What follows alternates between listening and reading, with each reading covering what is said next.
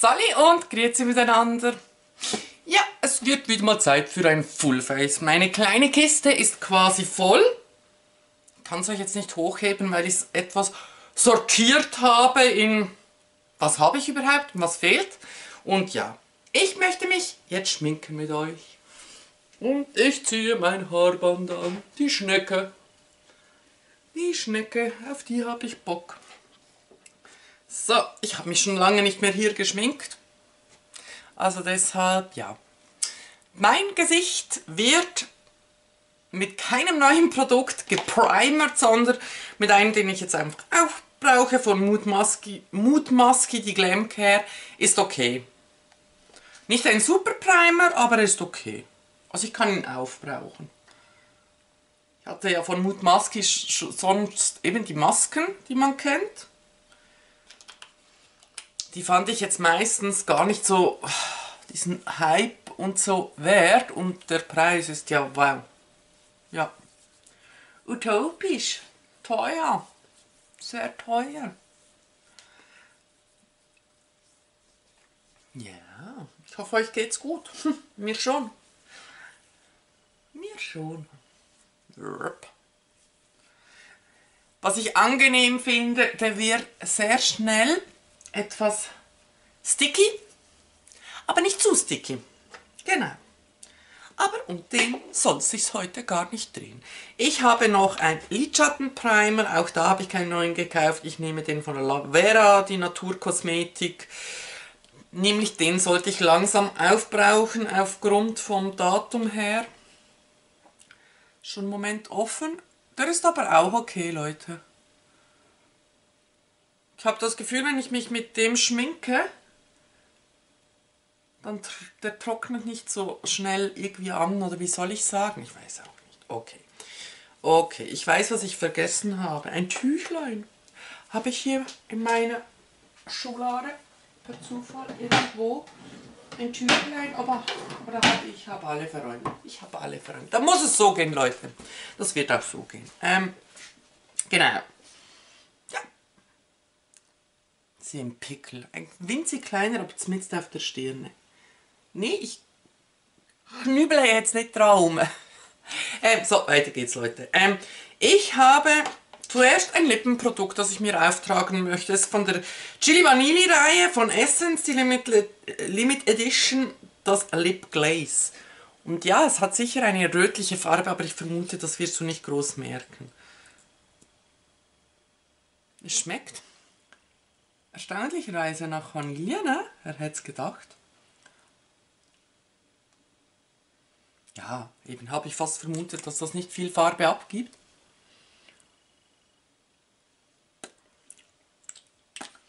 Aber gut. Hätte es eine Bezeichnung? Nö. Doch. Nummer 01. Home is where when Vanille is. Home is where Vanille is. So. Meine Vanille steht meistens in der Küche, aber egal. So, genau, jetzt hatte ich, ich bin ja so verliebt in den von Catrice, diesen Concealer oder wie man Eye Brightener Concealer. Und ich habe jetzt zwei. Einen habe ich von der Marke Gouache. Der war irgendwie, ich nehme an, in der Goodie Box. Genau, das wäre die eine Möglichkeit. Oder eben auch von Essence aus der Chili Vanille Reihe hat es auch eingegeben. Und ich würde aber sagen, da ich jetzt Chili Vanille schon auf den Lippen habe, nehme ich den von Gusch. Den muss ich sogar noch richtig öffnen, Leute. Der ist noch komplett verschlossen. Also sehr gut verschlossen, will ich damit sagen.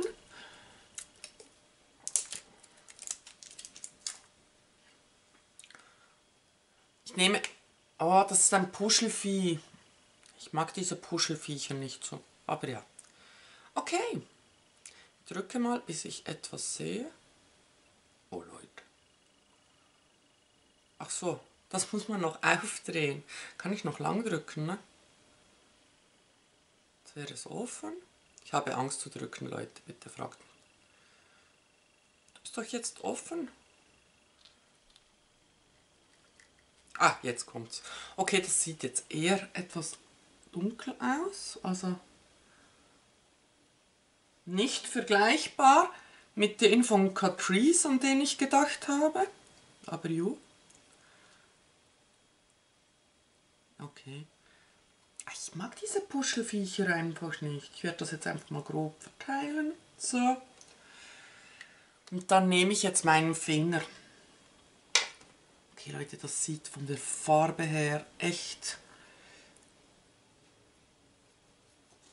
nicht ideal aus, finde ich jetzt gerade.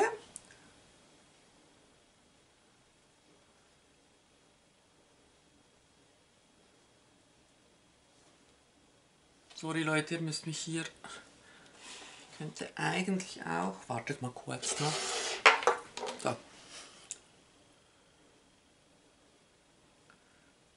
Inklusiv klassisch. Ein Sandmännchen kommt auch noch mit, ne? Tja. Tja. Kommt mal näher. Ich finde es recht gelblich. Man sieht extrem einen Unterschied jetzt so. Und es hat eher sogar etwas sandig-goldiges. Aber ich könnte jetzt schon sagen, ja, dunkle Schatten hat es abgedeckt. Kriegt den Mr. Fred hier noch weg?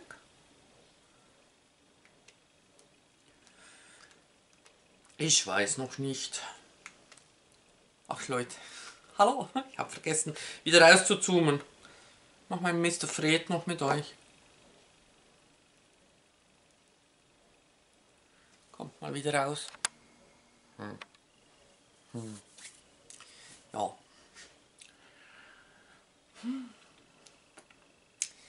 Ja, ich habe was um die Augen. Ja, es. Ich habe irgendwie einfach das Gefühl, es wird sich auch absetzen. Aber ja, gut, es ist wie es ist. Ähm, weiter geht die wilde Reise. Den habe ich jetzt nicht getestet. Den lasse ich vielleicht noch in meiner Box. Ähm, äh, genau, für das Gesicht. Ich habe keinen Bock auf Foundation. Ich bleibe heute zu Hause. Ich werde mein Gesicht einfach ein wenig pudern. Und zwar habe ich den von Rival de Loup, den ich leer mache oder versuche leer zu machen. Und ja, ich mag Puder. So ein schönes Produkt am Morgen früh. Puder. Es gibt nicht viel, viel zum Überlegen. Und das klappt meistens auch mit den Lichtverhältnissen. Diese Puder ist auch eine Spur zu dunkel. Aber ich finde es nicht schlimm. Ja. Sicher so Rötungen, weiß doch auch nicht. Ja, mein Gesicht ist abgepudert.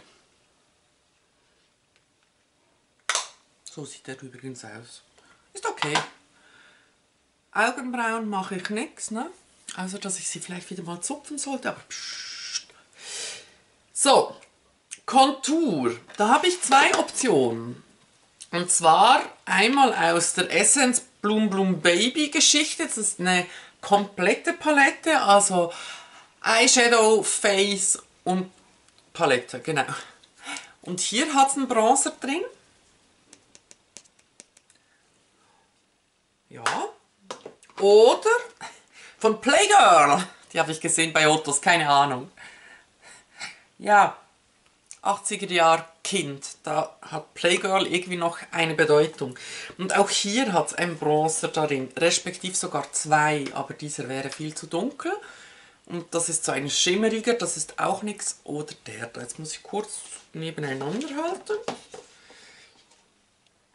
Ich glaube, ich werde den nutzen. Jetzt habe ich gespuckt. Ich werde den aus der Essence Baby Bloom Bloom Geschichte testen.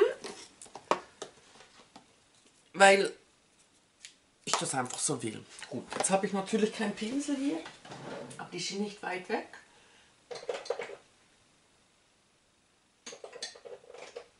Ja. Oh, Pinsel ist au, am Start. Okay, kommt schon ziemlich Produkt.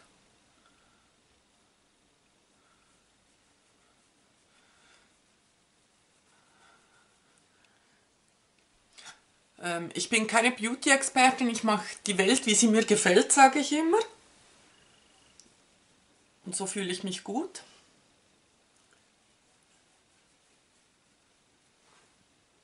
Sieht man was?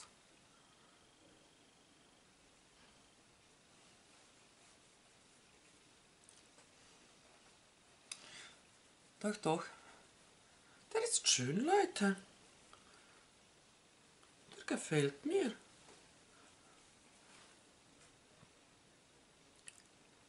Man sieht ihn schon, ne? Also hier ist das Studiolicht, darum ist das natürlich auch wieder sehr extrem. Ich finde, er lässt sich gut verblenden.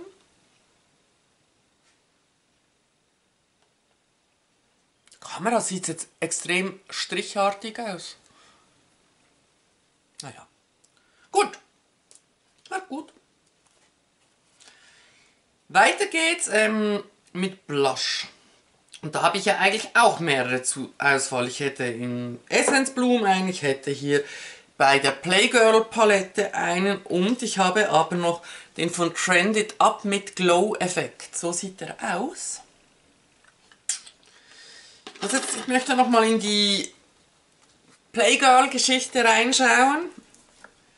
Ja, hier hat es ja auch die obere Reihe. Hm. Ich bin mutig und versuche den mit dem Glow-Effekt. Ich muss nicht mehr raus und falls ich zu glowy bin, ich bin gespannt, wie glowy eben er ist. Ich nehme jetzt denselben Pinsel, Leute, gell? Gib Produkt ab. Hallo? Ah, jetzt. Jetzt kommt was. Aber Leute. Also er macht einen schönen Glow. Aber kaum Farbe, Leute. Kaum Farbe. Finde ich jetzt schade. Ich möchte ja schon... Ah ja, es lässt sich zwar aufbauen, Leute. Hab nichts gesagt. Also ich sehe es im Spiegel, ob es in der Kamera sichtbar ist, weiß ich nicht. Es ist halt schon sehr glowy, aber schön glowy finde ich. Er ist einfach nicht so krass von der Pigmentierung, von, von der Farbe her. Seht ihr das überhaupt? Ja. Ja. Ja. Mal näher. Man sieht schon nicht sehr viel, oder?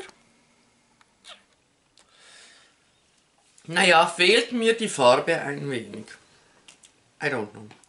Dann Highlighter habe ich auch mehrere zur Auswahl, auch wieder in der Blumengeschichte. Den, den will ich aber sicher nicht. Auch wieder in der Playgirl-Geschichte. Da hat es ja mehrere.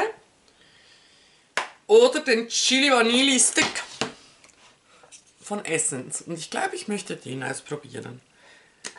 Der hat ja auch so eine komische Passform. Der stinkt, Leute. Ich mach das jetzt einfach so, ne? Oh, oh.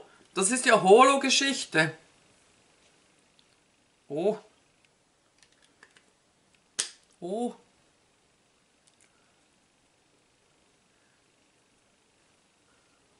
Jo, aber hey Leute. Ich sage immer, ich sehe mich hier in der Kamera eigentlich am besten. Durch das Licht. Äh, Im Spiegel sehe ich einfach, was ich tue. Und in meinen diversen Spiegeln, dann in meinem Wohnzimmer, werde ich sehen,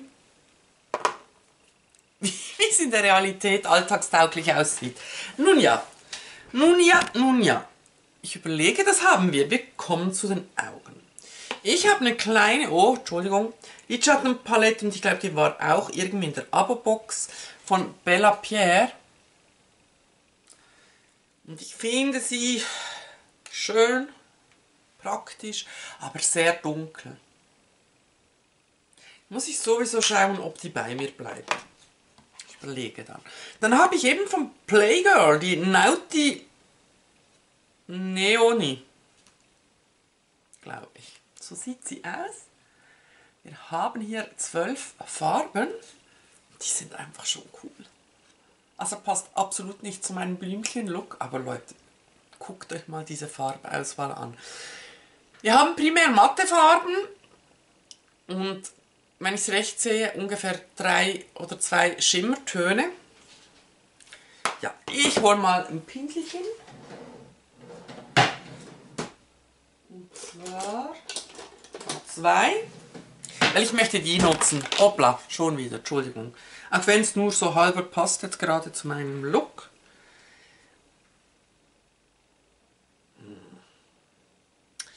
Ich würde zuerst setten mit etwas weißem, weißem. Meine Nase geht zu, Leute.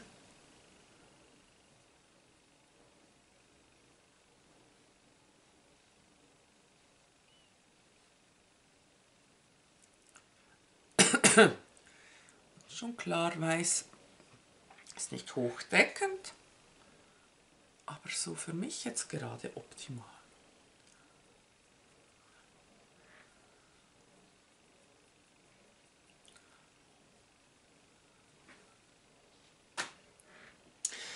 Dann, was nehme ich?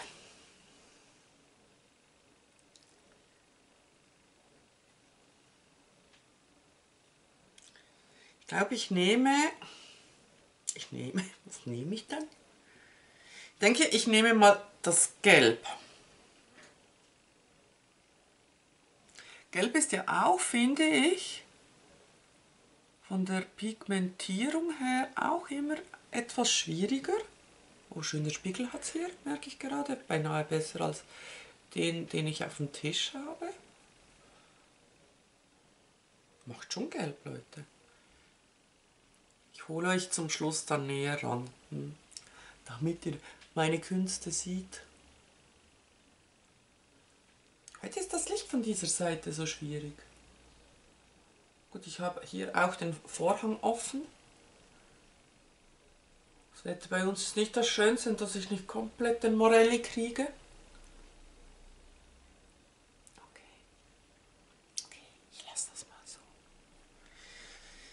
Dann möchte ich jetzt in das Violett gehen. Und ich überlege, ich nehme jetzt gleich denselben Pinsel. Komm Leute, was soll's.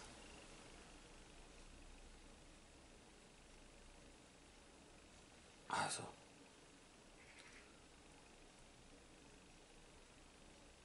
Gibt sehr gut Farbe ab.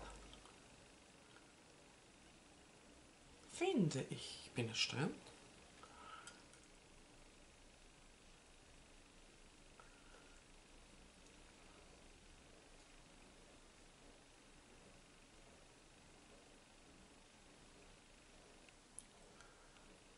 Hätte es umgekehrt machen sollen. Jetzt habe ich auch nicht studiert. Eigentlich wollte ich das rötliche innen und jetzt habe ich das dunkle innen. Ja, egal. Ja, es ist nicht schlecht, hä?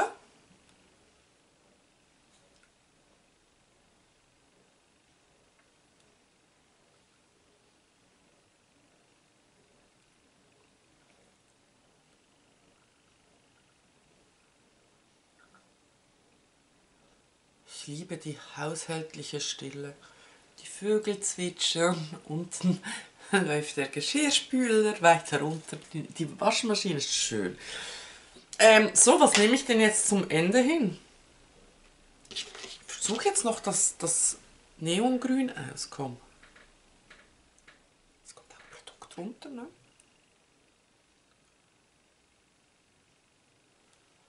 Okay.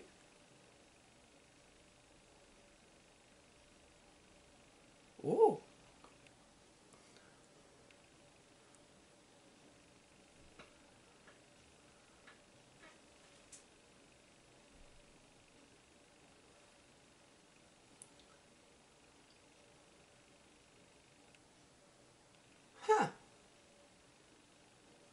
Also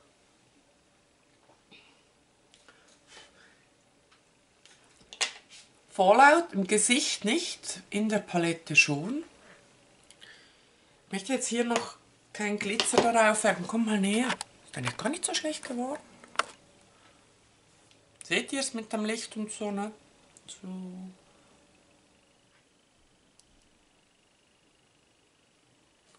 gar nicht so schlecht. Jetzt hat es hier einfach wirklich nur sehr, sehr dunkle, respektive sogar beinahe nur ein Topper. Den will ich nicht. Was habe ich denn hier sonst noch? Highlighter schlimmstenfalls. Ich nehme doch einfach Highlighter, why not? Ich nehme den Highlighter, den untersten, den hellsten.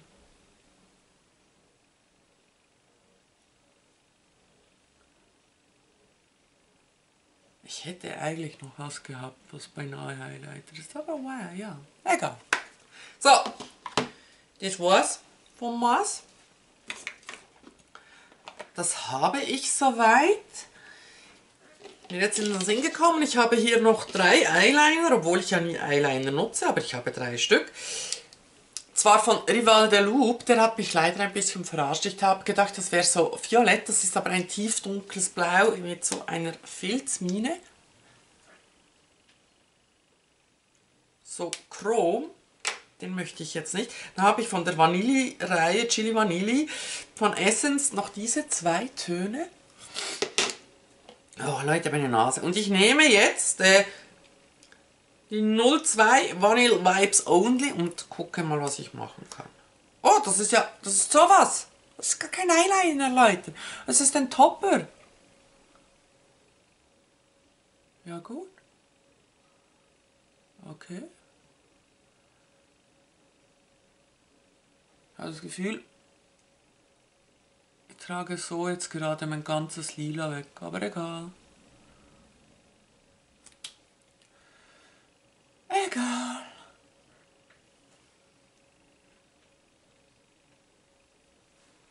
Im Moment fühlt es sich im Auge gut, äh, im Auge, auf dem Auge gut an. Ich habe kein Fixing Spray, ich nehme den Merci Handy. Ist eigentlich nicht ganz ein Fixing Spray, Fixing Spray aber mir egal. Tut gut. Ja.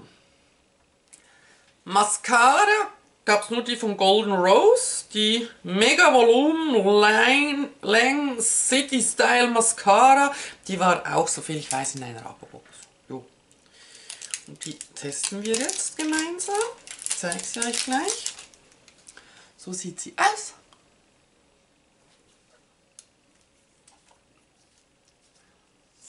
Schwarz natürlich und so ein Silikonbürstchen.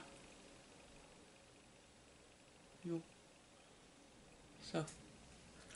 Schauen, ob ich zurechtkomme mit dem Bürstchen. Ich habe das... Oh!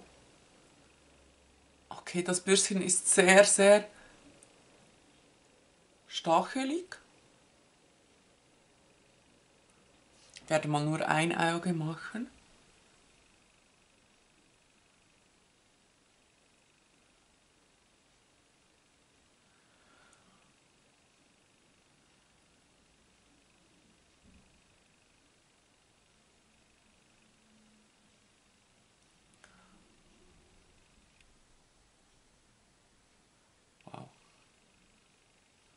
Ist echt nicht schlecht, Leute.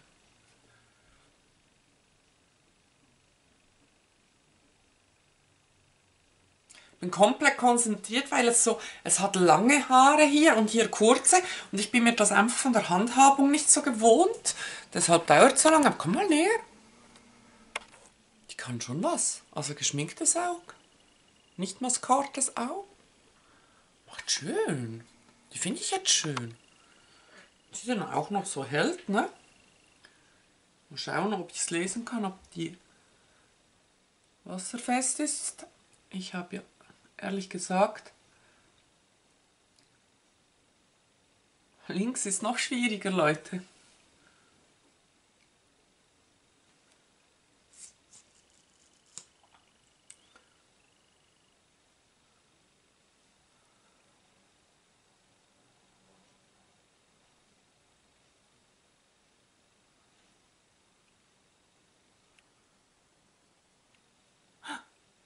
gepatscht.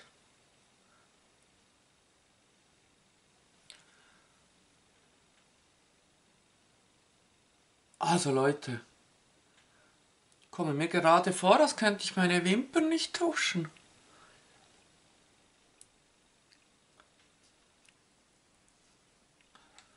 Irgendwas ist heute komisch. Meine Handhaken lässt zu wünschen übrig. Nicht schön getuscht. Das, ganz, das, das ist ganz ein weiches Bürstchen auch. Seht ihr das? Ist vielleicht wegen dem noch etwas Spezielleres zum Auftragen. Ich habe hier gepatscht. Ja, naja. Ja. Aber ich muss definitiv noch üben, weil ich habe gepatscht und gepatscht und hier kleben sie zusammen. Sehe ich jetzt gerade. Aber sie macht sehr schwarze, tiefschwarze, getrennte Wimpern. Also an und für sich, ja.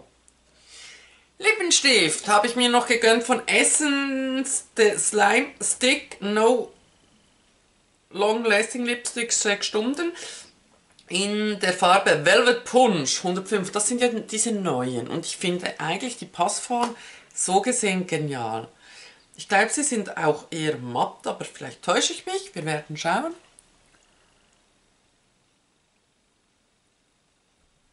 Wow.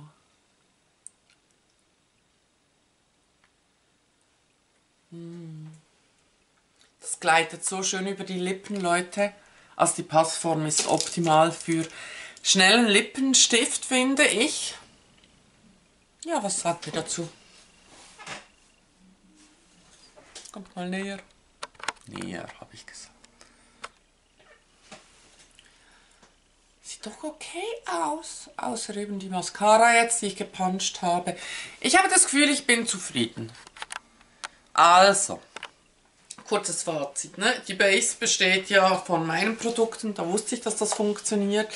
Ähm, ähm, ähm, ähm, ähm, das auch. Chili Vanille war gut. Ja, das muss ich sicher länger testen, wie die Pflegewirkung, so ist es ja logisch. Kann man nicht auf Anhieb sagen. Den habe ich nicht getestet, aber egal.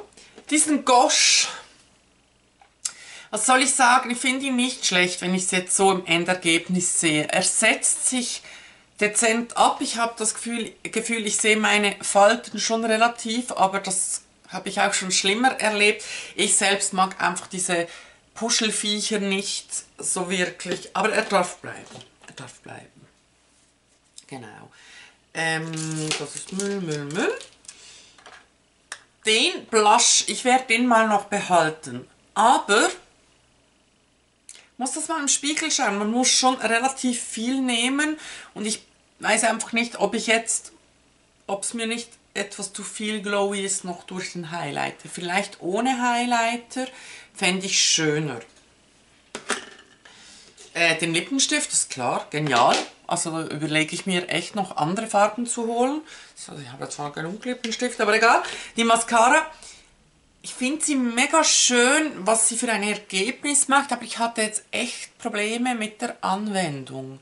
Deshalb wird das sicher nochmal weiter versucht. Gebe ich nicht so schnell auf, den habe ich ja nicht gebraucht. Dann äh, die Chili Vanille Applikationsgeschichten da. Leute, also ich bin jetzt am Sprechen, am Blinzeln und Machen und es trocknet sehr schnell weg. Das finde ich natürlich schön. Das heißt, das setzt sich hoffentlich auch nicht so schnell in der Lidfalte ab. Also die bleiben ganz sicher. Die kommen halt einfach zu den Flüssiggeschichten. Den Chili Vanille, ich finde ihn eigentlich schön. Und wisst ihr, wer ich mir das auch sehr gut vorstellen kann? Stellen wir uns vor, es kommt mal wieder Sommer. Ja, der kommt bestimmt. Und du schwitzt und machst und tust, dann habe ich persönlich manchmal gar keine Foundation und auch gar kein Puder. Und dann einfach nur das, bam, ein wenig Highlight setzen. Das kann ich mir sehr gut vor. Also er gefällt mir wirklich. Er hat ein bisschen Holo-Geschichte darin. Glow with the Flow. Könnte man sogar für Körper nehmen, lese ich jetzt gerade. Genau. Die Bella Pierre-Geschichte. Ich glaube, die werde ich verschenken. Ich weiß es nicht. Ich finde sie eigentlich mega schön. Mir, mir, mir, mir stört nur, mich stört nur, dass hier unten nur so dunkle Farben sind. Ich werde vielleicht mal ausprobieren, wie sie sonst so sind, ob sie fleckig werden, weiß ich nicht was, ich weiß nicht. Ja, die Eyeshadow-Palette, die wird bleiben, Leute. Ich finde sie echt nicht schlecht von der Farbgebung. Also hatte ich schon schlimmere. Diese Riesenbox Highlighter Blush und weiß nicht was, werde ich natürlich auch behalten, schon nur weil hm, Playgirl ist natürlich ein Riesen-Oschi. Ein Riesen-Oschi. Und zuletzt die Essence Bloom Bloom Baby, die werde ich sowieso behalten, weil das war auch der Gedanke Urlaub und so, da habe ich alles drin. Und ich finde es sehr normal tragbar. Und deshalb bleibt die sowieso. Ja, das heißt, ich kann jetzt wieder neue Schminke kaufen. Was ich vielleicht schon getan habe. Wer weiß, wer weiß, wer weiß. Ihr werdet es sehen. Ähm, genau. So Leute, das war's. Ich wünsche euch von Herzen alles Gute, alles Liebe und sagt ganz einfach Tschüss. Ich fall hier schon auseinander.